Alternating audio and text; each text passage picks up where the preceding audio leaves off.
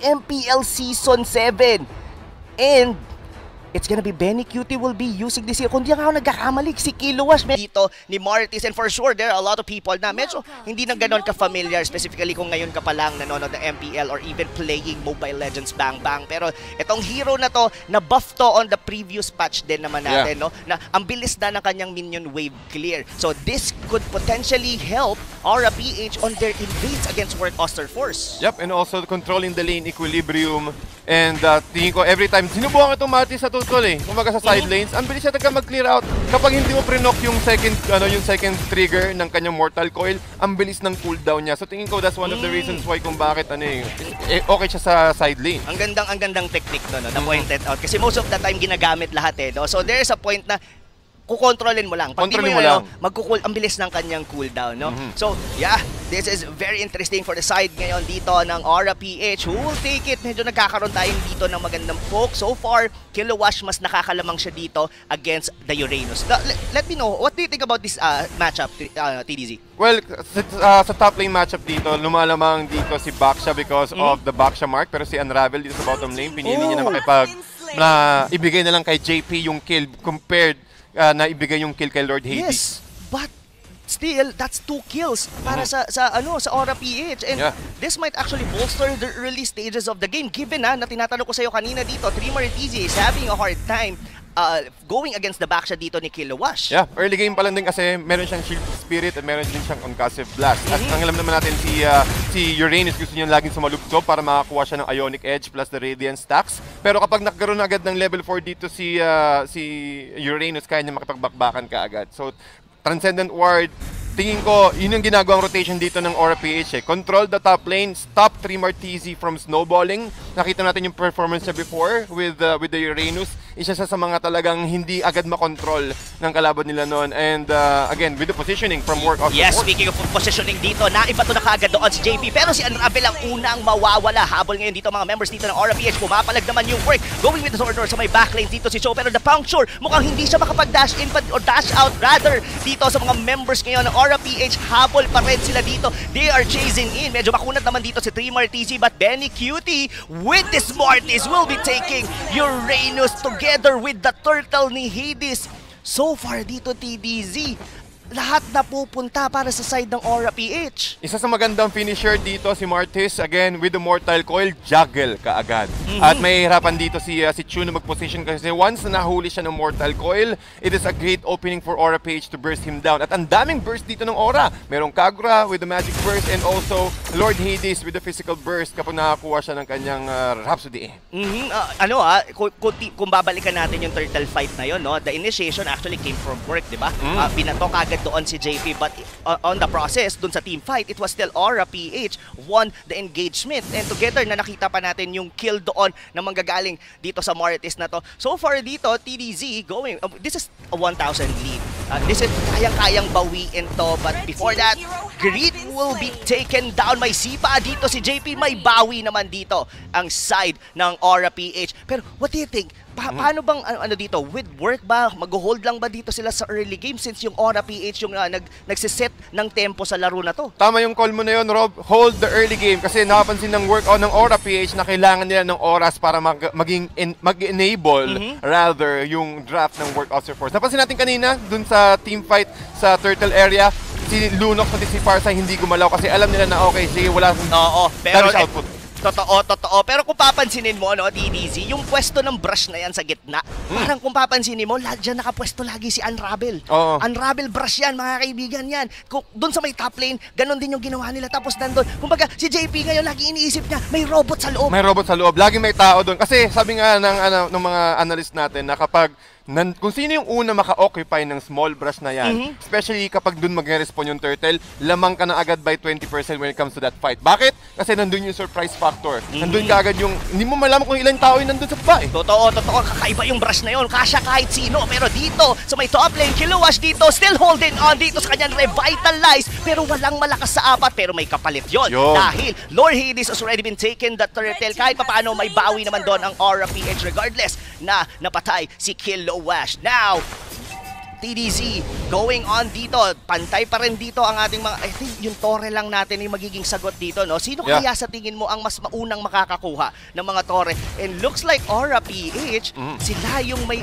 Baga, ala, kaya nila eh. Parang confident sila namang invade at hindi gustong pasukin ni Unravel yung brush na yun dahil hindi rin niya alam kung anong laman nun. Sa akin, Rob, to answer your question, ang umauuna dito sa pagkuha ng third is yung, Au- yung Aura PH. The Mhm. reason why, again, merong Ashura's Wrath dito si ah, Marty, si Benny Cutie. Kapag nakakuha siya ng Ashura's Wrath, ah, kapag apat na yung Ashura's Wrath niya, ang bilis ng attack speed niya. At nakita natin every single time, meron din silang range capability with Lord Hades. But what I'm trying to say is the attack speed from ah, from Martis, less than 5 minutes, para ka na agad naka-DHS eh. Oh Sobrang bilis, my. para ka naka-wind talker. Kaya mong i-disable lahat.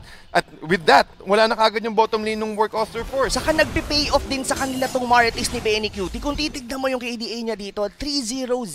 Meaning to say, is really getting the kills and even the farm para dito sa hero na to. Pero ito mga kaibigan, this is slight, uh, kumbaga, disiplina pa rin naman on Oo. both of the teams. Though, nakuha yung top lane dito, na, or rather na Torre dito ng Aura PH. DC, medyo delikado siya dito. Two members ang humahabol sa kanya dito. May flank sa likod, Grid, using that ultimate dito sa kanyang CMA Umbrella. Pero Remar DC still too tanky. Ngayon, may Jit si JP pero hindi niya na sinubukang sipain pa rito. Sino ang unang mawawala? That's gonna be Unravel. Ngayon, confident na dito pumasok sa ilalim ng torre ang mga tropa natin from Aura PH. Pero Remar DC, gaano ba kakunat itong hero na to?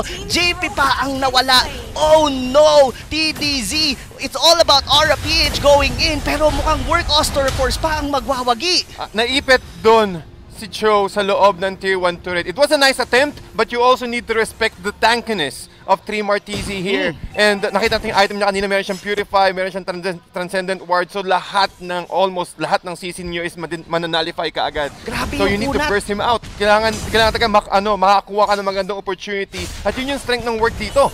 Yun talaga, mukhang makikita na natin dito yung strength na sinasabi mo dahil makukuha ni Chu dito. Yung turtle na to may bato pa doon sa may bandang likod. Unravel will be taken down and a kick. Or rather, yung si yung uh, Martis na doon halos wala na ako nang sasabihin dahil sobrang lakas nung damage na yon. Three man down for the side of Work Oster Force. Walang kapalit yon. Tuloy-tuloy ngayon dito ang aggression ng Aura PH. But still, may nakuha naman sila doon. Good attempt for JP getting the way of the dragon doon sa Lunox pero hindi enough yung damage. Kumain siya ng Torre and even naka-dark as well doon si RTZ.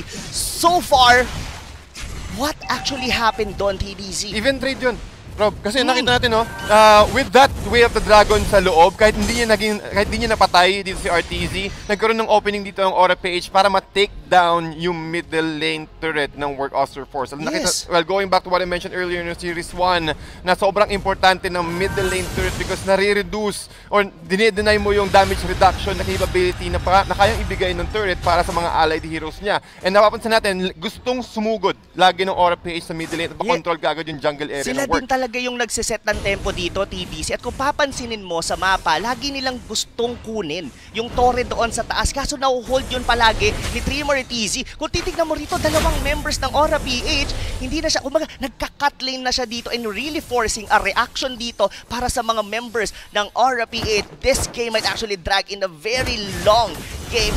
TDZ, ngayon, magkakaroon na tayo ng Lord. Hindi mabasag-basag ng Aura PH tong top lane paano paano ang gagawin nila dito? Will Work Oster Force just stay still? Mm. Or kailangan sila naman ang sumapak dito sa Aura PH? Kailangan magstay still lang sila kasi ang current composition dito ng Work Oster Force, they are, uh, uh, yung strength nila is more of a positioning. So kapag nakakuha agad sila ng position sa may brush area at sumugod dun yung Aura PH and dun yung surprise factor. Again, we're talking about uh, Farsa and also Lunox plus the, uh, well again, plus the Lancelot combo. Pero si JP dito mukhang naiwan sa gitna. Siya nga yung naiwan sa gitna pero that is just providing vision and information dito para sa side ng Aura PH kasi binasag na ngayon nila yung dalawang torre na kanina pa nilang gustong-gustong kunin and this is good news TDZ para sa side ng Aura kasi nakaposition sila ng maganda dito sa, sa, sa Lord Pit. Yep, at Lord area, indeed, one-fourth na ang bawas dito ng Aura PH. Pero Unravel, mukhang nag-aabang din ng magandang position. Medyo nagamit ang kanyang feathered airstrike. So, Again, Aura PH with the timers. Mukhang Yun na, sila. yun na, sinimulan na ni JP yung sipa doon na reset naman yung Lord pero looks like Work Oster Force. Sila ang mawawalan, Unravel ang mawawala. Benny Cutie will get shut down by RTZ na abangan siya doon sa likod. An even exchange yun, TDZ. What do you think? Ah, tingin ko dito lumumang ang work Oster Force. Kasi kahit nung wala si Unravel, okay lang. Naka, naka, ano siya, naka-pull yourself together. Mhm. So yung respawn timer niya is sobrang bilis lang. But stopping the streak from Benny Cutie is the big thing. Ang laki agad ng gold na naibigay, na naibigay din ng Benny Cutie side ng work. Totoo. What I ask you is kung ano yun eh, kung even yun. And for Mhm. Work Oster Force, definitely even. Unang nakuha doon si Yeah. Unravel, pero naiwan sa likod. I get the point kung bakit nasa likod si Benny Cutie. Kasi you would want to flank, you would want to take uh, si Kusei, itong Farsa na to, which is very squishy, especially pag ang Martis ang kukuha sa kanya. Pero inabangan eh. Inabangan RTC talaga. was actually there and alam nila napapasukin sila doon sa likod. Mhm. Pati yun talaga ang punto eh. Nakita mo natin dito, lahat ng, ah, ng ganitong klaseng draft, hintayan. Hintayan gaming, Mhm. tol. Kumaga, kailangan mo makakuha ng magandang position. Patience is a virtue. Especially on this current draft, Kosei with the Farsa, RTZ. Sinabi ko nga kanina, ang lalabas lang ditong ah, hero sa side ng work is si Unravel, pati si Trimar TZ. Tri- Trimar TZ, nakita siya kanina from, ah, well, habang naghihintay pa lang yung aura and also work sa may Lord area, kinat na kagad yung bottom lane. Kaya napansin natin yung damage ng turret sa bottom lane is almost kahit isang isang Mhm. one hit na lang. Isang one hit nga galing sa ti- ating pinaka-legendary caster na si Imagine Faldas. Pero ito ah, medyo 4v4 matchup lagi ang nangyayari dito. Kasi hindi mo rin pwedeng iwan si Trimar TZ on the Uranus and probably get uh, uh, dito sa may bottom lane na mag-cut ng mga lane. So, like what you've said, abangan dito, patience is a virtue. Even RTC has a perfect uh, place Position. doon, Oo. position indeed, doon sa may top lane. Kumbaga, it was steadily going into work. Sa ganitong sitwasyon, EDC, what do you think? Sa yung parang tug of war, pero mamaya mo na sagutin niya dahil sa likod may jeep kundong tatlo para kay JP. Wow. Shutdown ngayon dito si RTZ. Pero sino na ngayon ang sunod na mawawala? JP, Buhay still pa? alive. Pero ngayon ang mga members dito ng Aura PH, hindi na tayo maghahabol mga tol dahil pwede na nating kunin ng Lord. Ito na, sinisimulan na ngayon nila dito TDC na patipi out dito ang mga members ng Work Oster Force. Aabot ba sila dito? Chu is in still on the vicinity. Mukhang hindi na yata nila aabutan to para makontest. And this is it. Aura PH getting the first Lord. May palag pa dito. Even Trimmer TC is forced na sumama na ngayon sa team fight. Ang ganda ng pagkaka-zone out dito ni Greed. Napa- napansin niya na okay si Chu nasa middle lane, ginamit niya, yung uh, ginamit niya yung kanyang Thorn Rose. Mhm. But yung giving the threat na okay, sige, kung gusto mong dumaan dito sa area na to, sa may uh, sa may brush left brush area, kailangan mong i-absorb yung damage ng aking yin yang overturn. Overturn. So si Chu ngayon na, na pwersa siya na pumunta sa baba but it's Mhm. way too late. Nakita Yes. niya yung banner na Lord has been taken at hindi na siya magko-contest kagad. So it's all about positioning. Nakita mo natin yung dito yung advantage ng Aura PH na force back nila na na, na push back nila rather yung work Oster Force at with that snap, with that opportunity, hindi sila nagpatumpik-tumpik pa. Kumuha agad sila ng Lord. Kumuha sila. Speaking of hindi magpatumpik-tumpik, binato agad ni Unravel doon si JP. Muntik-muntik na naman siya doong mamatay. Low HP ang ibang members dito ng Aura PH. Bukang magtitipi out na muna sila as the Lord is still approaching on the top lane. Pero maganda ngayon ang positioning dito ng mga members ng Aura PH. Pero malayo pa yung iba. So TDC, looking at the map right now, it's look like na hindi nila sasabayan yung Lord and they potentially would want to pull or to, to remove the inner turrets dito sa gitna or even doon sa may bottom lane.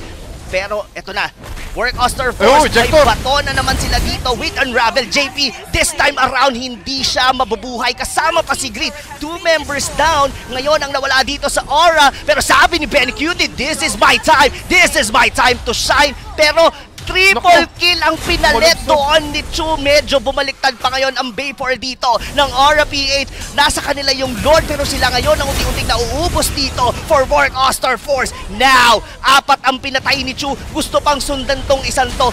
Kilo Wash, can he be able to survive? Dilapag niya na rito ang Revitalize pero yung gulong sobra-sobrang kunat at hindi pa rin kinaya dito ng Work Oster Force. Ang ganda ng decision making dito ni Chu. Alam niya na Mhm. okay si Kiluwash na lang yung naiiwan doon at ang hirap niyang patayin kasi dalawa na rin ng members Yes. ng Work Oster Force yung nandun. So he de- decided to go for the middle lane Mm. afterwards. That is a very disciplined. Na, sa, kahit sabihin na nating napatay nila yung Baksha doon, that would take a lot of time Oo. compare to the trade na pwede nilang makuha na makuha yung mga tore dito ng Aura PH. Now, Work Oster Force going confident dito to invade the orange buff ngayon dito ni Lord Hades. But right now, TDZ, balik tayo ngayon dito on an even scale. Look at the gold. Dikit Wow. na dikit.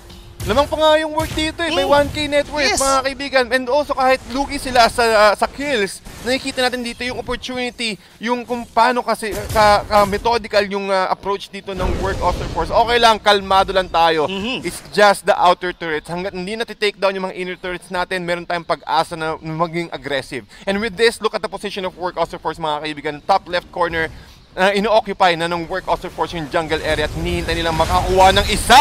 Yun na yata yung isa, yun si Kilo Wash with the combination of Ejector together with the eh, feathered airstrike ni RTZ. That's gonna be a 4v5 ngayon on the bottom, bottom lane. So RPH decided na wag na nating Wag depensahan na. yan. Doon Oo. tayo sa loob dahil wala ang ating tanky hero na si Kilo Wash. Ngayon dito, looks like bumaliktad ang istorya dito mga kaibigan. Work Oster Force on the verge of winning on this series against Aura PH. Kanina sila yung mas nakakalamang. In fact, nakuha pa nila yung Lord. Pero TDC, what could have happened? Nag-overstay ba or nag-overcommit ba ang Aura PH nung nakuha nila yung Lord? That's the reason bumaliktad tong larong to? Mm, nag-overcommit dito si Benny Cutie gamit yung kanyang Martis. Sumulubsob siya sa loob ng ah, ng between the tier 2 and the tier 3 turret. Tingin ko, I gets ko yung ano eh, yung, yung gusto niyong gawin dito eh. Makakuha siya ng, ng, ano, ng decimation strike, makukuha ang proc agad yung killing spree. But while that is happening though, That is happening habang pinapaliwanag mo yung TDC. Tinitignan ko kung gaano ba kakunat si Tremar TZ. Greed will be taken down. Medyo napahaba yata ang habol doon ng mga members ng Aura PH. Nandito na naman si Chu. Nag-uubos na naman dito sa mga members ng Aura. Tatlo ang nawala. Mukhang hindi na yata mauulit TDZ ang nangyari nung nakaraan. Pero magiging disiplinado dito ang Work Oster Force. Kunin na muna natin tong Lord. Ito, pero si Benny Cutie, medyo nag-abang siya doon. Pero alam nyo ng Work Oster Force. And he will be taken down. Sabi dito ng Work Oster Force, wag nang mag-Lord. Isa lang ang magbabantay. That's gonna be the back shot. Hindi niya kaya na bantayan dahil diretso na tayo sa base. Will it be the final team fight ngayon dito? Kiluwas dito, gumulong-gulong pero walang tumutulong. Pinato siya ni Andraven, nilabas siya sa base, tungka sa labas. Ngayon, Work Oster Force with the antics dito, with the TP-TP. Sino may sabing bawal mag-TP? Kukuha din namin ngayon ang base ng Aura PH. Ladies and gentlemen, Work Oster for successfully